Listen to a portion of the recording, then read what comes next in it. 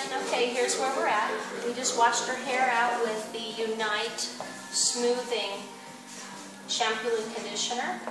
And I'm just going through her hair little by little and doing a fine-tuned checking of this.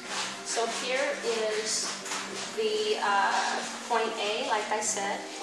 There it is wet. You can see it stretches and it's quite long when it's wet. And I am cutting it on an angle down to the bottom. Take out half of that hair. I'm just checking it now. The cut is finished, but I'm just checking it and making sure everything is fine-tuned.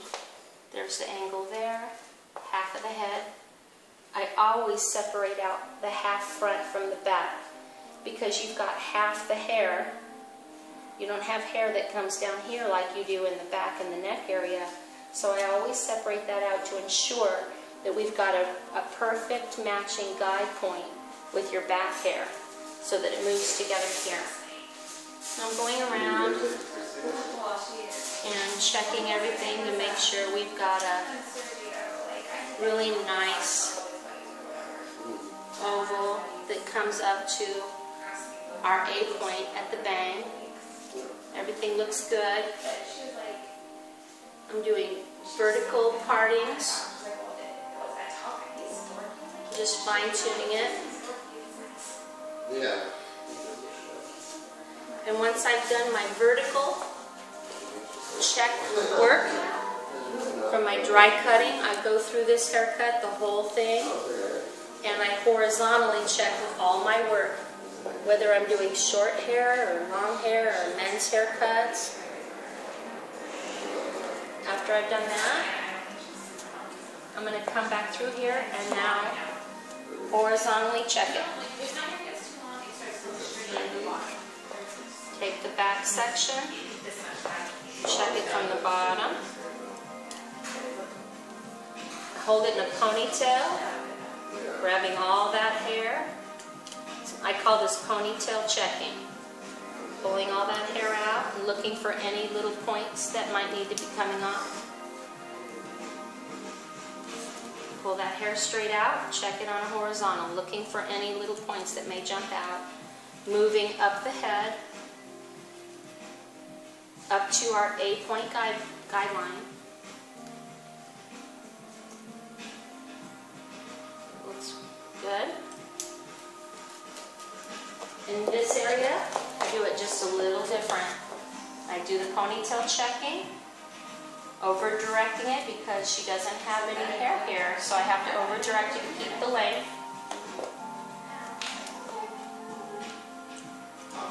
Cut that little bit off there. Of that there. Yeah, you have to it four in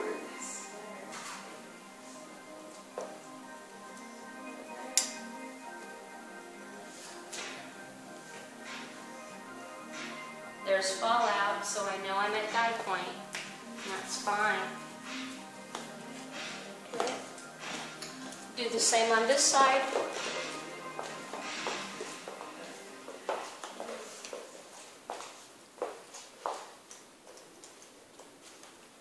Splitting half of that.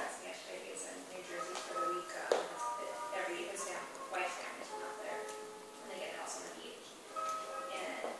long point right there I'll take out.